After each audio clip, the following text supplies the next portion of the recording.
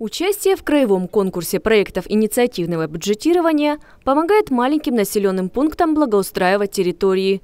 Одним из победителей этого года стал проект под названием «Помни про родителей своих, дети будут помнить о тебе». Его предложила инициативная группа хутора Стефановского, чтобы сделать новое ограждение на местном кладбище. На реализацию проекта было выделено 1 миллион 780 тысяч рублей, но этих средств оказалось недостаточно. Инициативная группа поучаствует во втором этапе конкурса, чтобы завершить начатые работы.